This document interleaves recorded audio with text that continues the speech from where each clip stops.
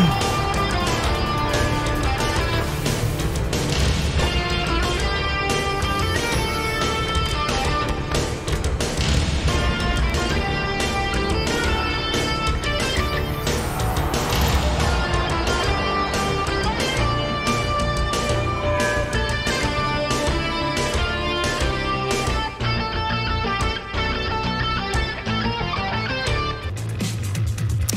¿Cómo están? Buenas noches, eh, somos Sofro Deportes. Eh, aquí estamos eh, en vivo y en directo por una nueva jornada de fútbol.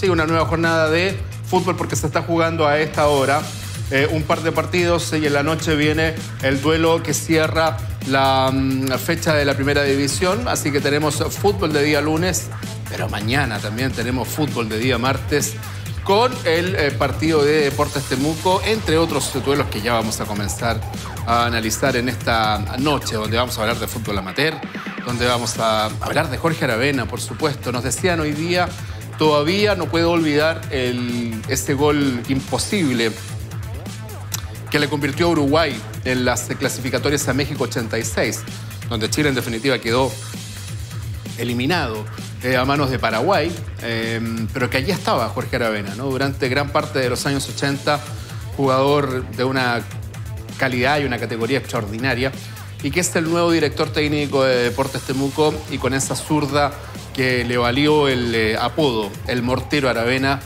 que brilló en Católica y también en distintos países con esa zurda mágica que tenía. Hermosilla, ¿cómo le va? Hola Fabián, la jornada de los empates de momento en el, en el ascenso, en el partido que abrió la jornada, empate 1-1 entre Santiago Morning y Melipilla, eh, con uno menos jugando más de media hora el cuadro de Santiago Morning por la expulsión de Esteban Carvajal. Posteriormente abre la cuenta con Francisco Roble, Melipilla. Lo empató Vicente Durán. Y ahora dos partidos que se están jugando en simultáneo. Está empatando 0-0 Santiago Wanderers con Universidad de Construcción y empate 1-1, empató hace un par de minutos nada más el cuadro de mm, Unión San Felipe que está jugando de visita contra Deportes Puerto Montt. Hubo mucha duda si se podía jugar o no el partido porque había emergencia ambiental en Puerto Montt, pero al no recibir instrucciones específicas tanto Puerto Montt como la NFP para que se suspenda el partido. Se jugó, se está jugando, abrió la cuenta Ignacio Lemo en el primer tiempo.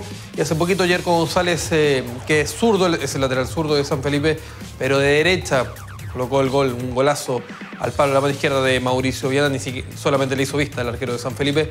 Empate transitorio, como decía Fabián, el partido que se va a jugar a las 20 con 30. Cúrico Unido, o mejor dicho, Audax Italiano enfrentando a Cúrico Unido cerrando la fecha de primera división. En el ascenso los partidos se van a disputar también el día de mañana. Además de, bueno, eh, la noticia que hubo en horas de la tarde, que, no se nos pase. Séptimo técnico, que es cesado de su cargo, Claudio Rojas, fue confirmado ya que no continúa en el elenco de Fernández Vial tras los magros resultados que obtuvo con el elenco urinegro, un partido ganado, nueve empatados y el resto todos perdidos. Eh, no le permitió el poder reeditar la campaña de la temporada pasada a Claudio Rojas y por ende es cesado de la banca de Fernández Vial, séptimo técnico que sale de los 17 que hay en el ascenso. Es un eh, Arturo Fernández Vial que yo pensé en algún minuto que esta temporada le iba a romper, la verdad.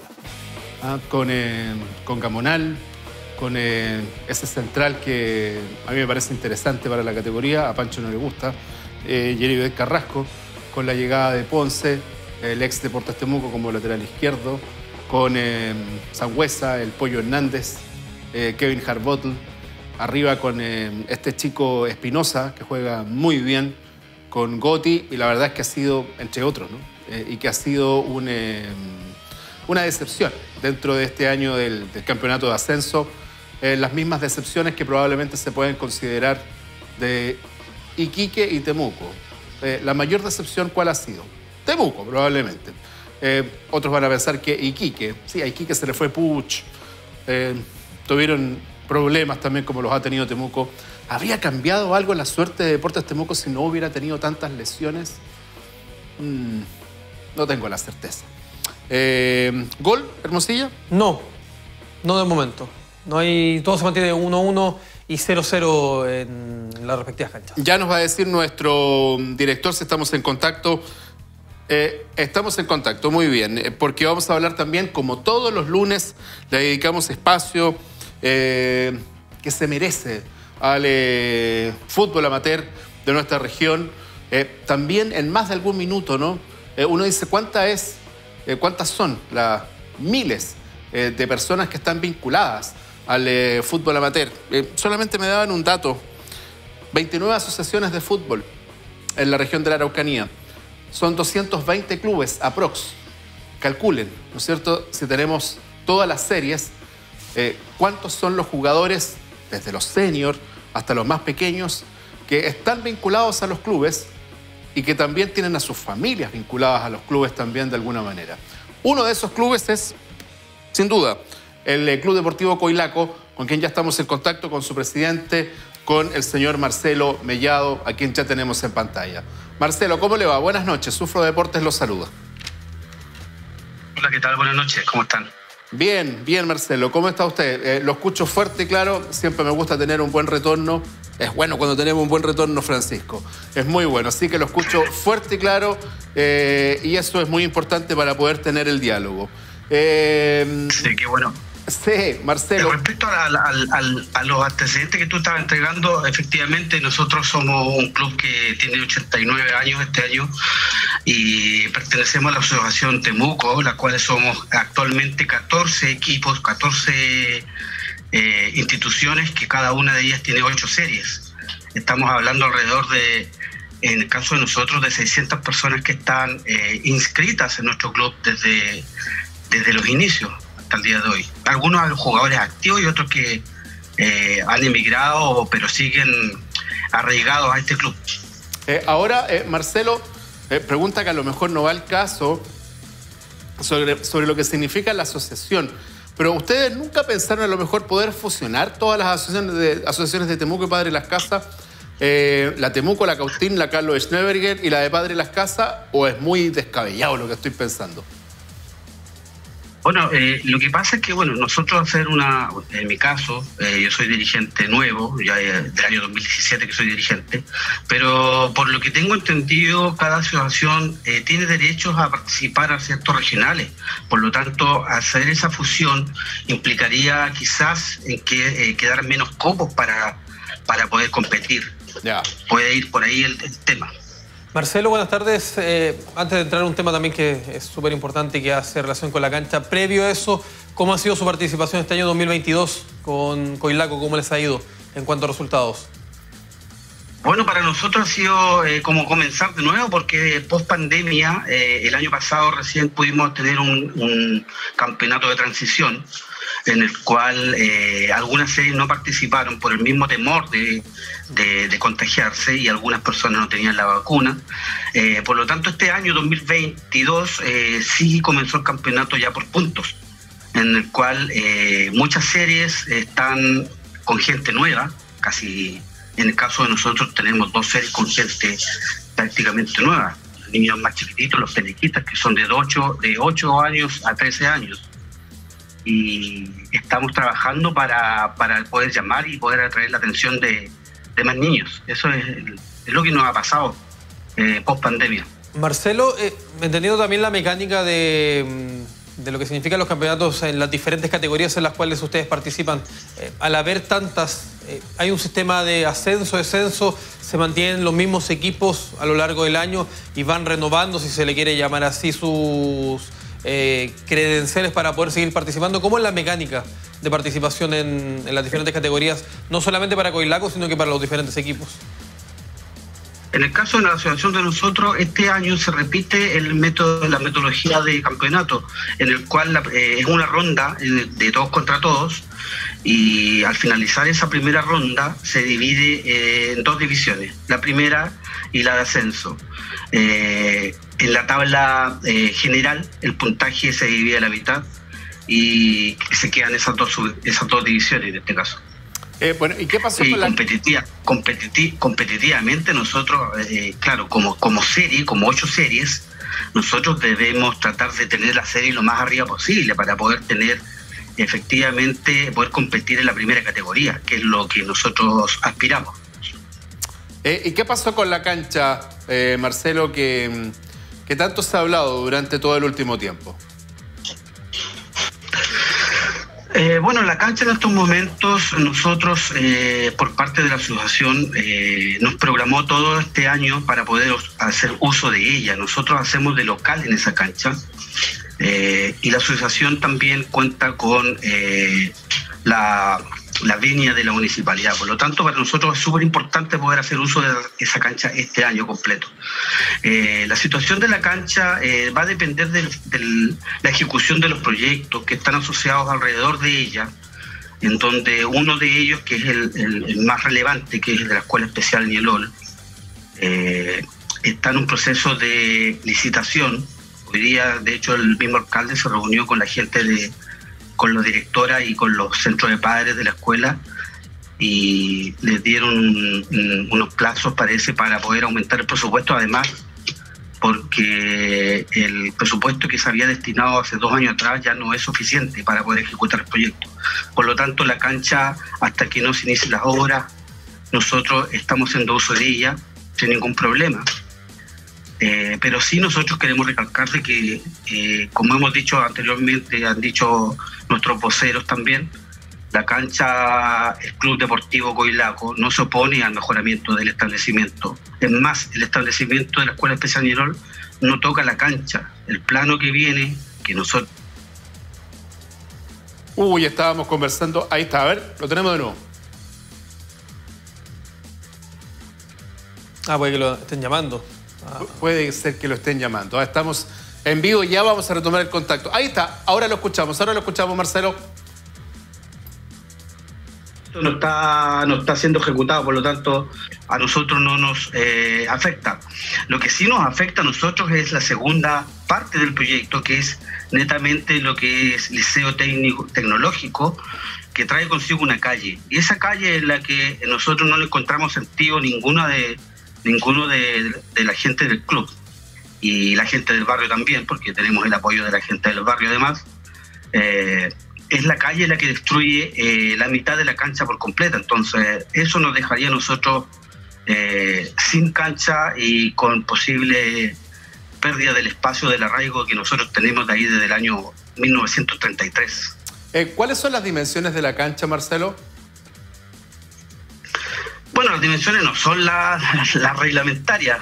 Eh, tienen que ser por lo menos eh, un poco menos de las reglamentarias. No lo tengo el dato eh, ahora preciso, pero sí son menores que las reglamentarias. Marcelo. porque, perdona, la cancha del Germán Becker es 105 por 68.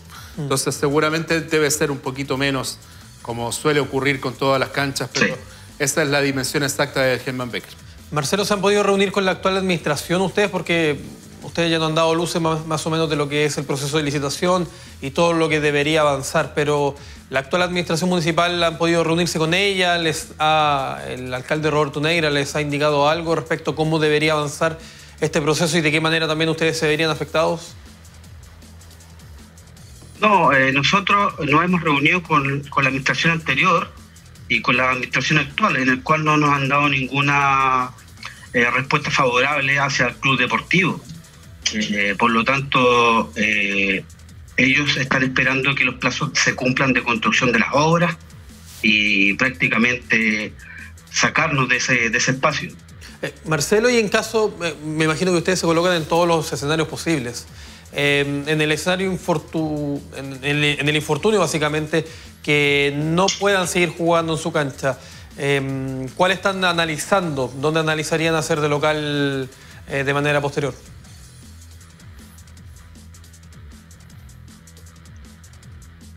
Se han dicho, se ha especulado bastante de que eh, a principios de año nosotros no íbamos a ir a, a jugar a la cancha de liceo, la cancha recién inaugurada este año, cosa que no es efectiva y que nunca tuvimos una conversación respecto a eso.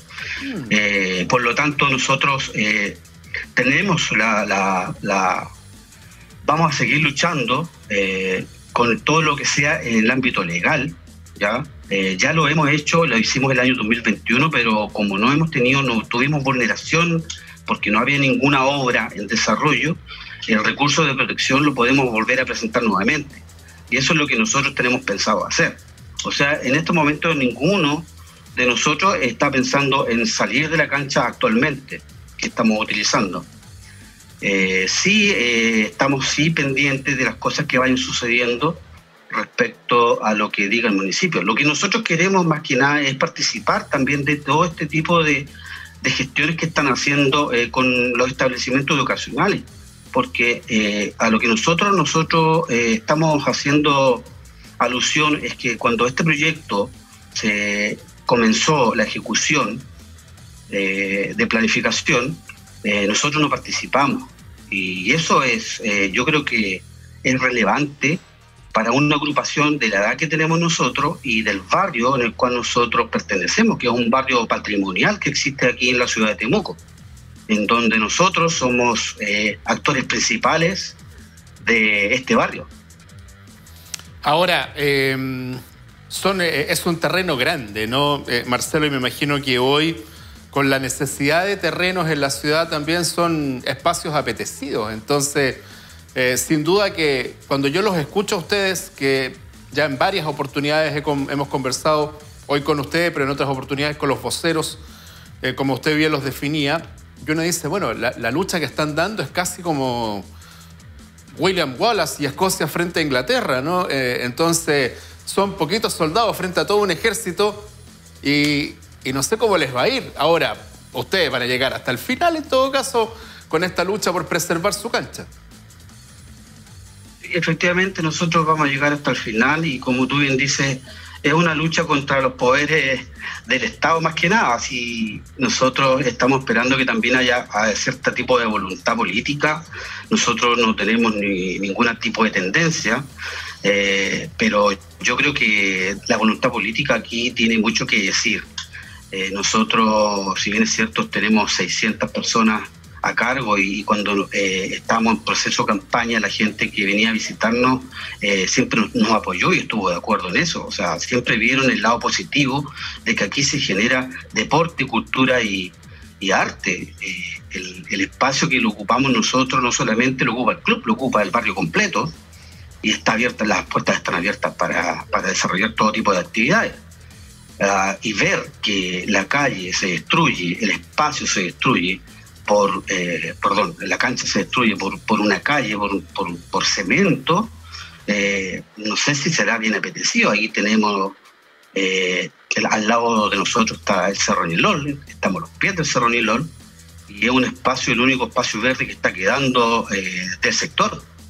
Si ustedes bien recuerdan, había una cancha que era del comercial donde se está actualmente el pabellón del amor, eh, la cancha comercial la sacaron, ellos también eh, actuaron de buena fe ante la administración que estaba en ese momento, pero ellos no, no los compensaron en, ningún sentido hasta el día de hoy. Ya han transcurrido varios años. Por lo tanto, nosotros no esperamos eh, ningún tipo de compensación. Nosotros lo que queremos es que la cancha se mantenga. Y eso es lo que nosotros hemos venido haciendo desde el año 2020, cuando nos enteramos de esta situación. Marcelo, muchísimas gracias. Eh, como siempre, para nosotros es muy, muy importante, Marcelo, poder conocer de la actualidad, de, también del pasado, del presente y del futuro de cada uno de los clubes del fútbol amateur. Así que eh, esta es su casa también, Marcelo. Y bueno, eh, a seguir dando la, pelea por lo que significa la cancha de Coilaco. muchísimas gracias por su tiempo. Buenas noches. Gracias, Marcelo Mellado, el presidente del Club Deportivo Coilaco, a esta hora también eh, conversando con nosotros. Somos Sufro Deportes, estamos en vivo y en directo y que ahora tenemos. Son eh, nueve para las 20 eh, horas y estamos acá como siempre. Mensaje de ustedes, a ver qué es lo que nos dicen. Hola muchachos, consulten si Aravena lo desea y si fuera posible reincorporar a Droguet. Mm. Em, saludos de parte de Gerardo Arias. Se lo vamos a consultar cuando tengamos la oportunidad de eh, conversar con él. Más mensajes por acá, a ver qué es lo que nos dicen. La mejor de las suertes al nuevo director técnico Jorge Aravena. Y si puedan jugar los que realmente mojan esa gran camiseta. Mm, yo creo que todos lo han hecho y se identifican con esta gran ciudad que merece ya hace muchos años no estar en esta categoría. Un abrazo muchachos en el estudio de un hincha de muchos años del imbatible Green Cross eh, en casa. Sufro mucho por esta institución que no está en buenas manos pero es lamentable que, lamentable que este deporte sea una empresa en estos tiempos. Más mensajes por acá, que es lo que nos dicen.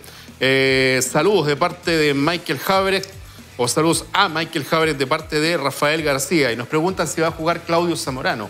Yo creo que sí. Eh, es número puesto para, me imagino, Medio campo. medio campo, porque ya se encuentra recuperado, o mejor dicho, cumplió su sanción Alejandro Contreras, eh, ya ha estado jugando Brian Viveros y también está Vicente Concha. Uno espera que también con esta salida del, anterior técnico y la llegada de uno nuevo, la frase típica, se descomprima el ambiente y ciertos niveles individuales que la verdad no eran del todo provechosos, con la llegada de un nuevo técnico se le saque el mejor de los resultados. Más mensajes que nos preguntan, eh, que nos llegan y que nos preguntan, ¿cuántas fechas le dan al mortero Aravena para que le agarre la mano el equipo? A Arán le daban de cuatro a cinco fechas y miren dónde estamos. Eh, no hay receta, ¿no? No hay receta. Recuerdo que hace poco estuvo un técnico en, eh, en San Felipe, en argentino, y que el equipo jugaba tan re mal que a la tercera o cuarta fecha lo sacaron. Eh, Ni siquiera me acuerdo cómo se llama. eh, Ni siquiera me acuerdo el nombre, la verdad. Eh, y hay otros equipos en que han estado allí en los vaivenes y al final no ha pasado nada. Pero ya como que se ha instaurado de alguna manera. Si usted mira lo que pasa en estos momentos con el campeonato, estamos en la fecha número 14, 15. eh, 15, pero no todos los equipos han jugado todos los partidos. Y en 15 fechas, o sea, menos de la mitad del campeonato, ya sacaron a 7. 7 de 16, de 17. Entonces es un porcentaje alto. Y probablemente hay algunos que han estado zafando de que mm, no los hayan eh, despedido antes incluso.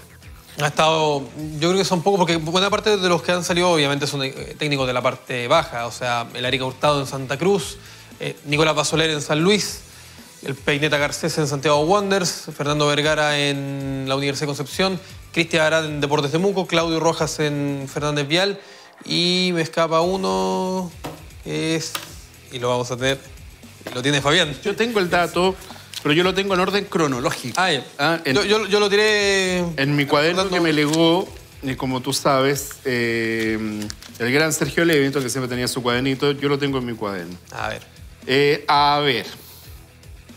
El primero fue Santa Cruz, que despidió a Osvaldo Hurtado. Hurtado. Después San Luis, a Nicolás Basoler. El 4 de abril, los anteriores fueron en marzo.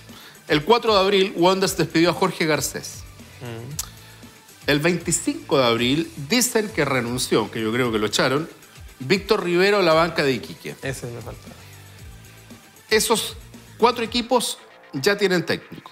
Santa Cruz a Domaitis, San Luis Bozán, Wonders a Miguel Ponce, Iquique a José Cantillana, que se comió una boleta la semana pasada de 6 a 2 frente a Barnechea, el subsiguiente rival de Deportes Temuco, y que ahora se recuperó derrotando a Recoleta 2 a 1 en el Tierra de Campeones en Iquique. El 7 de mayo, la semana pasada, la Universidad de Concepción despidió a Fernando Vergara y rápidamente también tiene técnico, Miguel Ramírez. Miguel Ramírez, que de hecho Está empatando. está empatando. 0-0 con Ahora. Wanderers.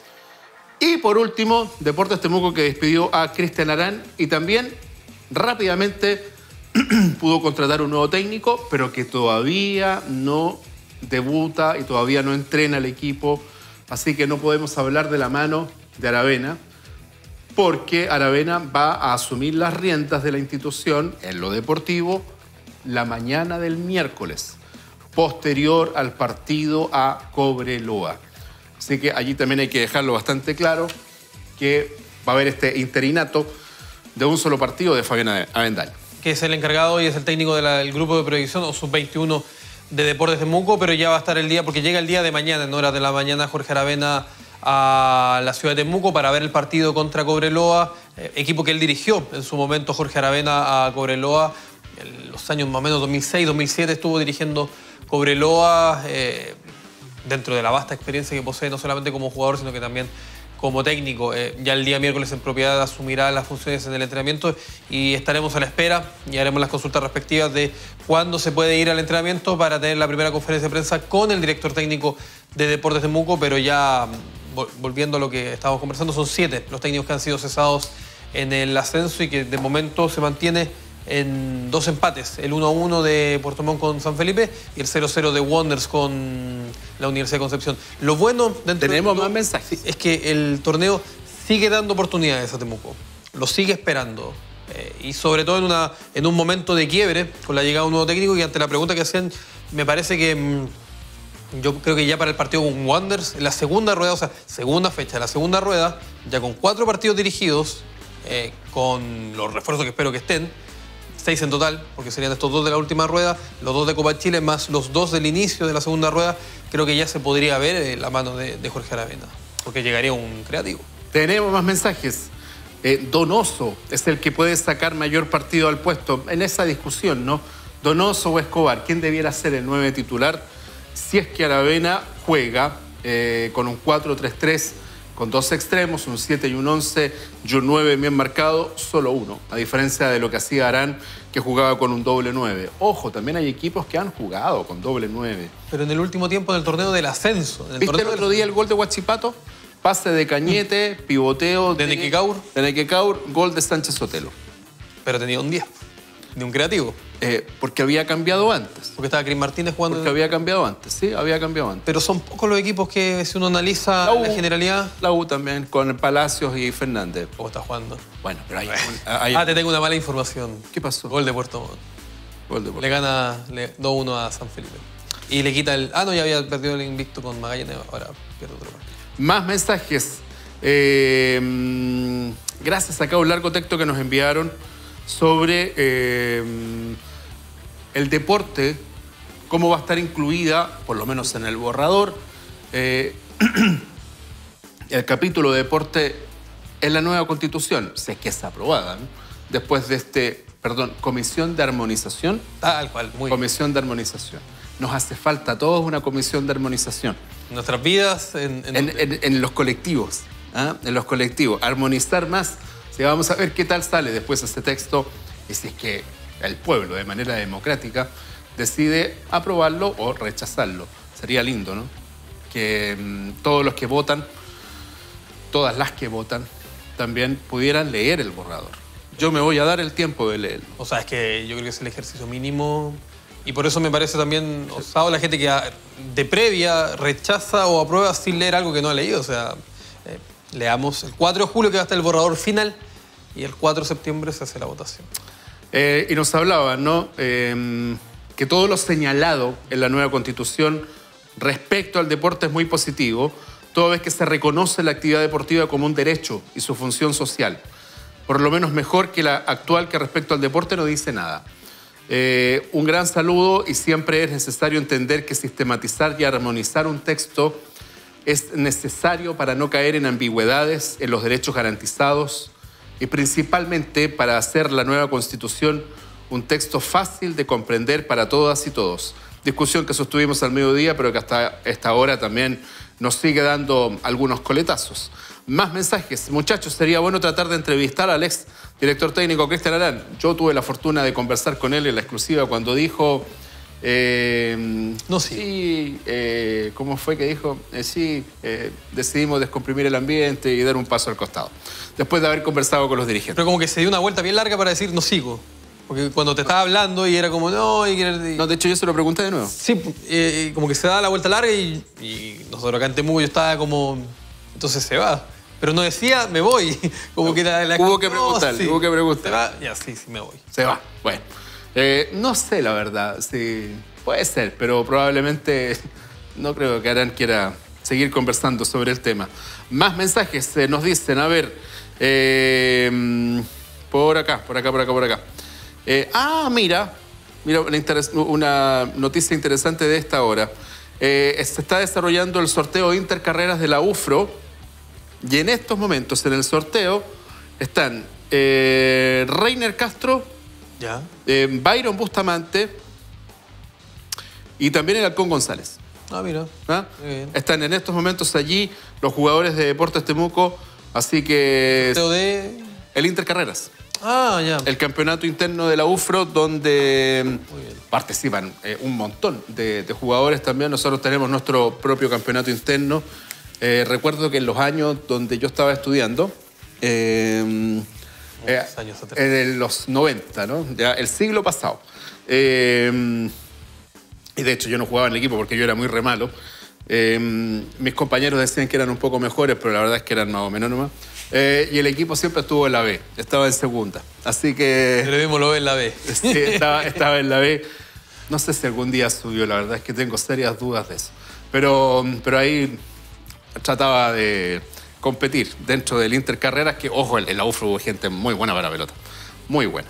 No me imagino. Sí, seguro. Eh, Me, me acuerdo. Tú estudiaste en la Católica y en la Católica también había gente buena para la pelota. Sí, habían exjugadores, jugadores que pasaron por Deportes Temuco. Me acuerdo que en la UFRO estuvo Eduardo Quilawilke. No sé si te acuerdas de él. De- sí, me acuerdo de él. Ya, él estuvo participando en intercarrera en la UFRO. ¿Y? De la Católica. No, no, de la UFRO. Ya. de La UFRO. Eh, como jugador, ex jugador, eh, obviamente, obviamente saca una diferencia. En la Católica estuvo, por ejemplo, Diego Belmar, que fue delantero de Deportes Temuco y fue seleccionado sub-17 en su momento en Chile. Eh, también sacan un par de diferencias y se nota con la gente que es más aficionada. Seguro. Vamos a preparar ya el segundo contacto porque mañana vamos a estar junto con, espero decirlo bien, ¿ah? Eh, Radio María Reina Carvajal De Calama. de eh, Calama. Les vamos a entregar toda nuestra señal, nuestro trabajo. Eh, mañana a las 20, 30 horas para el partido. Perdón, mañana a las 18 horas. Eh, me estaba confundiendo. Mañana a las 18 horas para el partido entre Deportes Temuco y Cobreloa que se va a vivir en el estadio eh, Bicentenario Germán Becker. Así que vamos a estar con ellos y ya ver si es que alcanzamos a esta hora a tener un eh, contacto junto con nuestros colegas para que nos puedan informar de las últimas novedades del equipo calameño. Hay un dato que espero no romper. O sea, lo voy a dar, pero espero no romperlo. Eh, Cobreloa nunca le ha ganado de visita a Temuco por la B.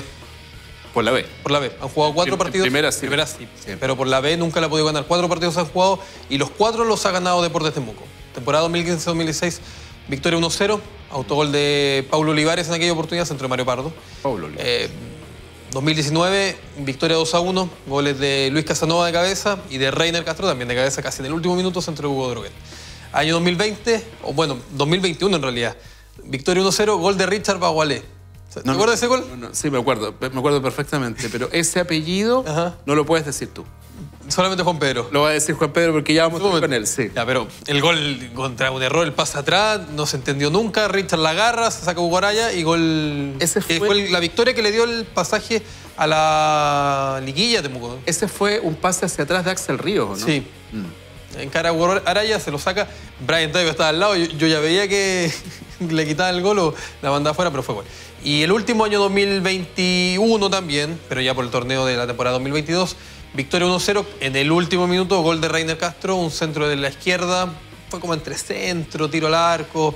eh, pega justo el palo y se va adentro. Victoria. Fue en el mes de julio, finales del mes de julio. Sin público todavía. Sin público todavía. Esos son los cuatro partidos que han jugado en el Becker y en los cuatro los ha ganado Deportes Temuco. ¿Cuál es el mejor jugador que tú recuerdas de Cobreloa? De los que yo vi, Sí, claro. Sí, no, te, Eh, voy- no te voy a decir. por eso, para atrás, No viste, no viste jugar a Merelo, no te voy a decir eso. es que yo siempre tengo mi, mi lucha de no poder escoger a uno, pero si tuviera Pato Cala, yo creo. Pato Galás. Pato Galás. Pato Galás. Bueno, gran delantero, ¿no? El mejor contragolpeador del mundo en su momento. Gran, gran, eh, gran goleador. Eh, Ese Cobreloa campeón del 2004. 2004, 2003 y 2004, pero el 2004 que le gana. El, el 2004 que le gana el título a Unión. en, eh, en la final que... Sí, la final fue de ida y vuelta y la final, la última se jugó en Calama. La anterior fue en, eh, en Santa Laura. Santa Laura que día estaba repleto. ¿Usted estuvo ahí? Estuve ahí, estuve allí. Sí, vi perder a, a Unión Española 2-0 frente a Cobreloa, así que la memoria no me falla, con Dante Poli que no agarró nunca a, a- a Pato Galán ni a ningún delantero, no lo agarró jamás. Eh, claro, tú ahí ya estás en los años 2000, ¿no? Pero en los años eh, 80 yo, yo no puedo decir que haya visto jugar con con conciencia de lo que estaba viendo al equipo extraordinario de, de Virto, de Osben, Tabilo, Mocho Gómez, Mario Soto, Enzo Escobar. eh, Al principio los 80. Sí, claro. El, el equipo, eh, el, el- el subcampeón de la Libertadores, campeón el 80, el 82, el 85. Ya del 85 en adelante tengo más recuerdos. Todavía estaba Puebla, sin duda, y el Mocho Gómez. Pero ya el resto de los jugadores no estaban todos. Y, y lo que te decía Puebla, Alarcón, eh, Merelo, eh, y arriba, bueno, Siviero, eh, Olivera, Juan Carlos Letelier. Y después, después renuevan, ¿no? Y después llega Pindinga Muñoz, Juan González, Juan Covarrubias, Sergio Díaz, Marcelo Troviani. Entonces, tú hablas una- una cantidad y calidad de jugadores que era extraordinaria. Y, y ese, ese dominio que tuvo Cobreloa desde el 79 hasta el 92 fue campeón también Cobreloa y hasta más centrados en los años 90 y después que en los años 2000 con, em, Nelson Acosta. con Nelson Acosta, ¿no es cierto?, vuelva a tener una, una gran época. Esa fue la última época, ¿no? La última época buena que tuvo. El 11 llega a la final con Nelson Acosta también, que pierde la final con la U. Mm. Eh, pero eso más o menos ya fue el corte. Bueno, jugaron Copa Sudamericana en 2013 con el Chicho García. Estaba Hugo Droguete en aquella oportunidad, le ganaba a Peñarol 2-0 en el centenario. Creo que fue como el último. mm, eh, ¿Te acuerdas, ¿Te acuerdas del equipo del 2011, el campeón? El, ese eh, equipo estaba Nico Treco, estaba, bueno, el, creo que el de la U, el- entero, el de Antonio, no, el de Cobreloa. estaba, claro, estaba. Es que estoy pensando que ya han pasado 10 años y fracción, ¿no es cierto? Me parece que estaba el Rolo González también, Rodolfo González, que ahora está también en Cobreloa. Estaba. mm, Sí. mm, te mentiría cuánto- eh, Hugo, Hugo Américo Luzardi estaba, un zurdo que jugó en River, formado en River, mejor dicho, pero era un zurdo, Era un, bajito, un equipo, 10, era un equipo de, de menor categoría en comparación con los anteriores. sin duda. De los 80, 90 y, 90 y la primera categoría, perdón, la primera década de, de los años 2000. Eh, Juan Pedro Peña, ¿cómo le va? Eh, buenas noches. Eh, Justo estábamos haciendo recuerdos de Cobreloa y también cuando mm, ese jugador que a usted le encantaba, delantero con apellido francés, le marcó el gol a, Cobreloa en el arco sur del estadio Germán Becker. ¿Cómo estás, CJ? Un abrazo grande. Buenas noches. Hola Fabián, gusto de saludarte. Sí, lindos recuerdos, me, me, me, me refrescabas, ¿no? Para mi frágil memoria, te debo eh, confesar, pero eh, claramente ese recorrido que hiciste por, por el Cobreloa de los 80, por el Cobreloa de los 90, por el Cobreloa de los 2000, eh, demuestra claramente que eh, tú no tienes comprado el éxito, ¿no? Eh, que te tienes que revitalizar. Eh, el equipo de Cobreloa, ese mismo mítico Cobreloa, eh, que lo reconocían incluso eh, en Brasil más que Chile mismo, eh, porque te acuerdas, ¿no? Esas eh, finales que enfrentó con Flamengo de la Copa Libertadores de América, la verdad que, te insisto, creo que es un, un remesón con la perspectiva del tiempo eh, para decir de que tú el éxito no lo tienes comprado y que tienes que revitalizarse, revi- revitalizarte, ahí sí, eh, a diario, a cada momento, sobre todo cuando se trata de, de alta competencia. Eh, te voy a contar una historia que el otro día, no sé si la viste, Jota. No quiso decir el apellido. ¿eh? Ya, se lo vamos a, ya se lo vamos a pedir de nuevo. Pero dicen, los brasileros contaban, esta historia la contó Mario Soto eh, y los brasileros también, en este memorabilia que hace el programa que está haciendo TNT. Y cuando hicieron un, un repaso por el Cobreloa, mm, ese Cobreloa extraordinario de los tres primeros años de la década del 80, eh, y dicen que Mario Soto había entrado con una piedra al campo de juego. Entonces, cada, cada vez que le pegaba a algún jugador de, de- de Flamengo eh, con la mano, eh, le pegaba un piedrazo. ¿ya? Eso es lo que decían los brasileros. ¿ya? Y por otro lado, Cobreloa, los jugadores de Cobreloa decían que cuando Zico pateó el tiro libre, que fue el gol de Flamengo allá en el Maracaná, eh, le cambiaron la pelota y que a esa pelota con la cual pateó Zico le habían quitado aire. Entonces por eso la pelota agarró una, una, una comba de alguna manera, o rosca dirías tú, Jota, eh, extraordinaria para poder batir al arquero. Historia de la Copa Libertadora de esos, de esos años y donde además Cobreloa tuvo la mala suerte de que lo obligaron a salir de Calama. No pudo jugar las finales en Calama, tuvo que jugarlas en Santiago, frente a Flamengo y frente a Peñarol, y las perdió las dos. Eh, Juan Pedro, ¿te acuerdas del jugador con el apellido francés de Temuco? Eh, no, no me acuerdo. Ya. ¿Viste? No quiso. po. Al- eh, dile tú. Pero Juan Pedro, año 2020, ¿no se acuerda? No, No, se pues no me acuerda. acuerdo. Re- refrescame, refrescame la Es memoria. delantero, hizo un gol, le hizo el gol a Cobreloa. No sé si lo recuerdas bien.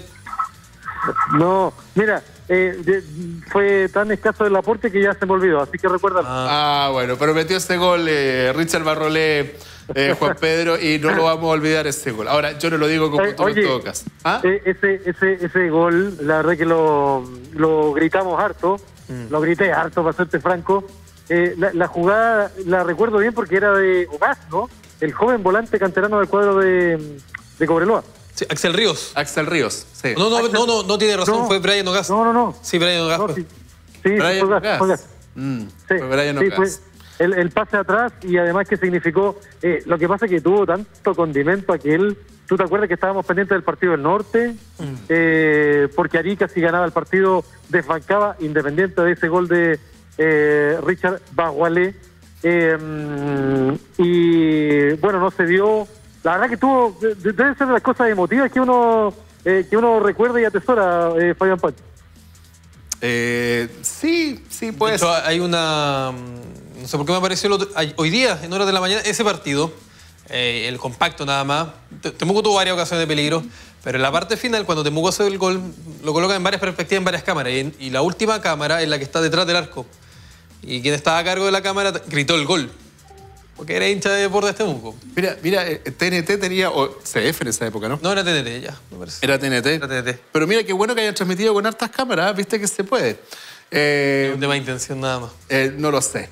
Eh, Juan Pedro, ¿qué se sabe de Deportes Temuco? El eh, partido que mañana juega bajo la dirección técnica de Fabián Avendaño. Efectivamente, lo comentábamos eh, este mediodía eh, aquí en Nufro Deportes. Yo, eh, en lo personal, ¿ah? no, no es que Fabián Avendaño tenga la duda, yo en lo personal tengo la duda de cuál va a ser eh, el esquema de medio campo, aunque eh, uno, y jugándosela, ¿no?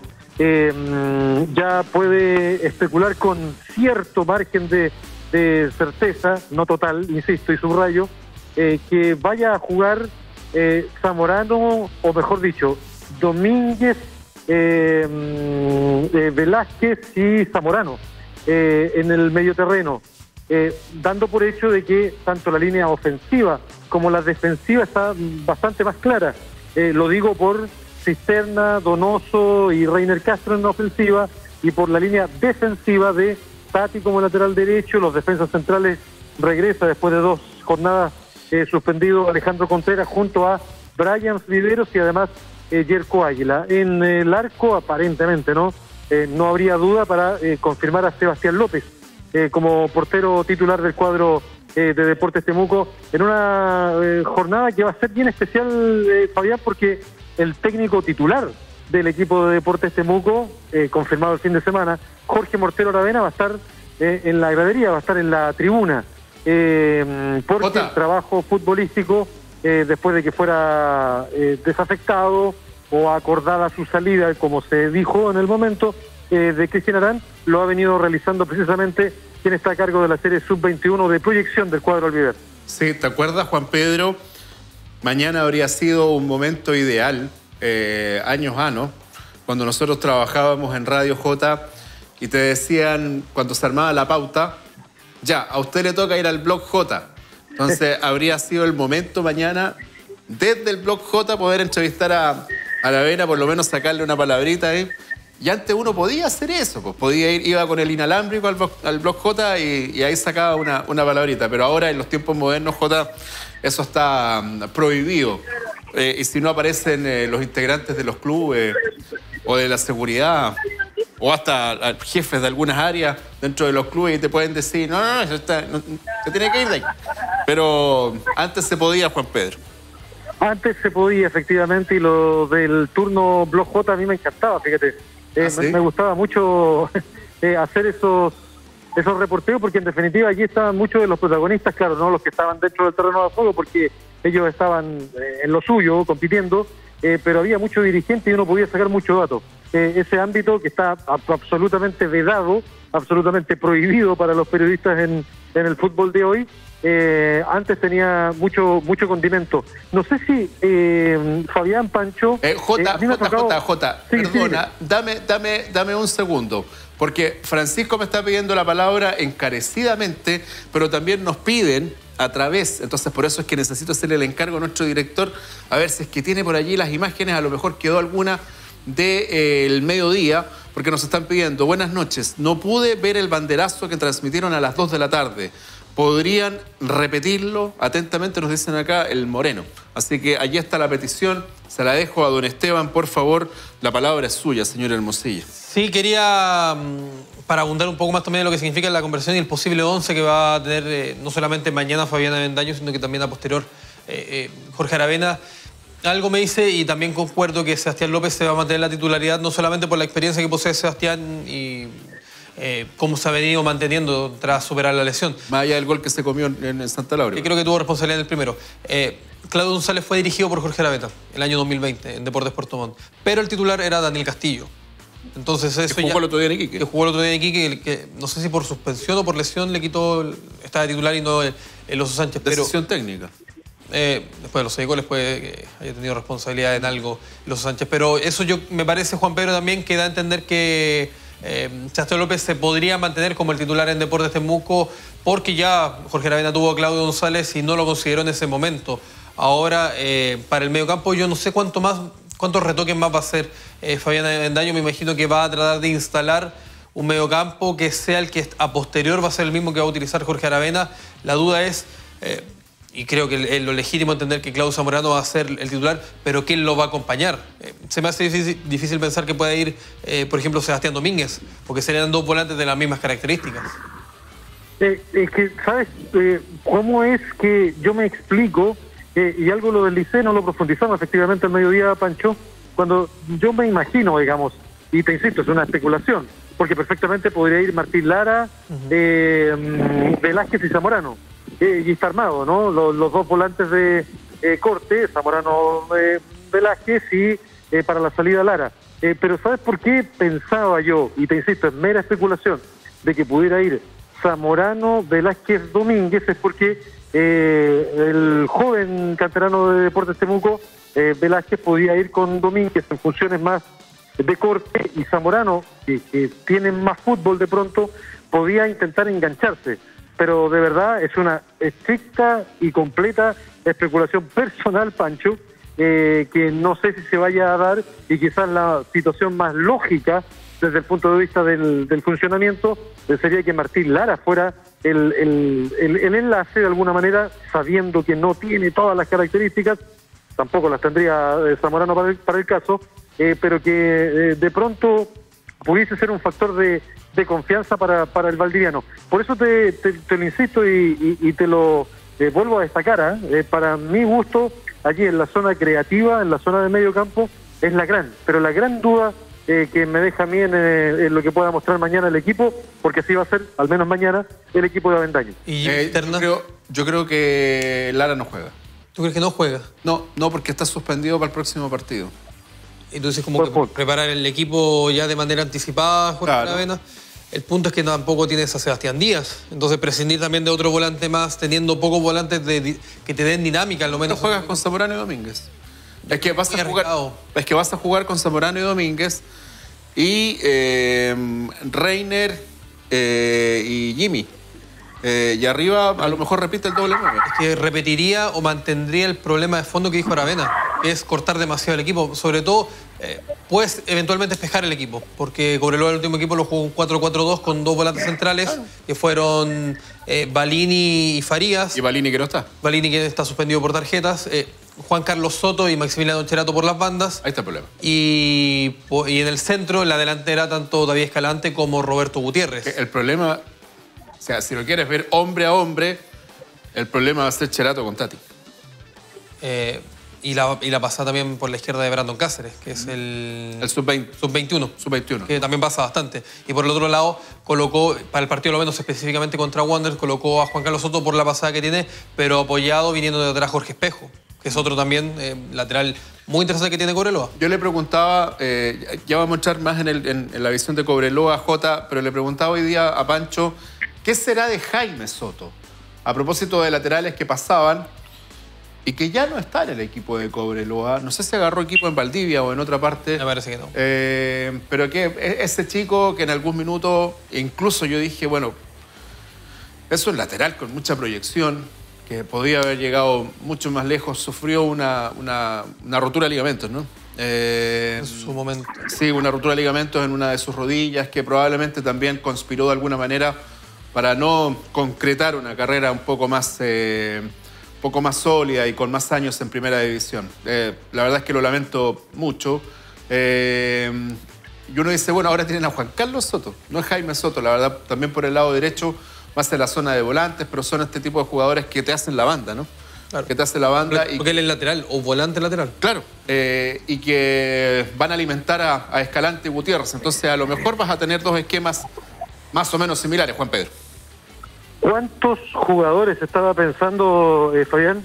Eh, se nos han perdido, ¿no? Eh. Jugadores que, que, que tú tenías en la retina, tenías en la proyección, y se van perdiendo por un montón de, de, de, razones. Uno no logra, en este caso, eh, precisar cuál es la razón, y yo creo que no hay una razón para que se pierdan jugadores que tienen enorme, yo diría, potencial, sí, potencial, pero que, que, que se van perdiendo. Creo que Jaime Soto es uno de aquellos, ¿no? De aquellos jugadores que, que tú les apostabas a que llegaban harto más lejos, pero pero se fueron quedando, eh, quizás tuvieron oportunidades eh, y las desperdiciaron.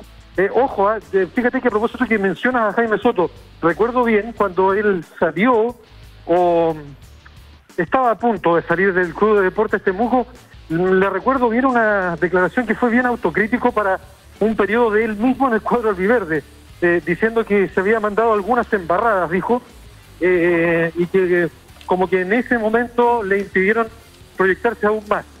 Eh, bueno, qué, lata lo que le ocurrió en términos de las lesiones también eh, a Soto, al Valdiviano, al Tunguita, como le decían, porque la verdad que yo honestamente le perdí la pista. ¿eh? no Después de, su temporada en Cobreloa, le perdí la pista definitiva. Juan Pedro, y sumado también que cuando se va de Deportes Temuco el 2018, hay una declaración de Marcelo Salas en donde también habla, es bien duro con, con Jaime Soto, directamente haciendo alusiones a indisciplinas del jugador. Eh, lo cual me parece que también termina conspirando en que precisamente estos jugadores con mucho potencial muchas veces se van perdiendo el camino porque ellos mismos desvían su propio camino. Eh, partidos terminados. partidos terminados en Chinquihue. Deportes Puerto Montt derrotó a San Felipe 2 a 1. Y en Playa Ancha, eh, Wonders, perdón, Elías Figueroa, tengo que decirle ahora al estadio de Valparaíso, pero que está ubicado en Playa Ancha, Wonders se igualó a cero con la Universidad de Concepción. ¿Qué es lo que significa esto? Magallanes 40 puntos, Rangers 25, al segundo, los dos con 14 partidos jugados, le sacó 15 puntos. Cobreloa 21, pero tiene 11 partidos jugados. San Felipe 21, Copiapó 19 y Puerto Montt ya se metió en liguilla con 18 ahí de la mano de Erwin Durán y también con un partido menos. Así que si Deportes Temuco mañana gana, ¿qué es lo que tiene que hacer? No llega a liguilla. queda un punto. Queda un punto. Juan Pedro, lo último contigo, por favor. no sé si les ha tocado hablar con Jorge Aravena a ustedes. Sí, sí, yo sí. De hecho, yo tuve una larga conversación una vez con Jorge Aravena en La Pintana. Eh, para un partido de Deportes Temuco, él estaba como espectador, junto con más gente de fútbol que es muy habitual en La Pintana. Eh, es, es, como Santa Laura, ¿no? Siempre va mucha gente de fútbol. Eh, y conversé largo rato con él. De hecho, me preguntó por varios jugadores de Temuco. Seguramente él no se acuerda. Yo sí me acuerdo, obvio. Estaba conversando con Jorge Aravena. Ídolo, no sé si ídolo, pero sí jugador tan admirado de mi tierna infancia y adolescencia. y allí estaba conversando con él. Sí, he conversado no solo esa vez, sino que además lo he entrevistado varias veces, Juan Pedro. Tú no, sí, sí igual, cuando estaba en Valdivia. Cuando estaba en Valdivia y bueno, cuando estuvo en Puerto Montt también. También, sí se le puede entrevistar. Es de un carácter eh, especial. Hay que saber tratar con, Jorge, Jorge Aravena en su posición como director técnico. Pero, no, es, de hacerle cualquier... No, le puede hacer una pregunta tan... Obvia. Básica u obvia porque se enoja. Eh, no, es de su agrado ese tipo de preguntas, por ejemplo. Yo eh, precisamente iba a traer a colación una cuestión que no tiene nada que ver con, con rendimiento, con sacarle rendimiento a sus jugadores Nada que ver, sino que más bien cosas más de onda informal, por eso te lo preguntaba, eh, Fabián, porque yo tengo la sensación, la misma que acaba de manifestar allí eh, Pancho.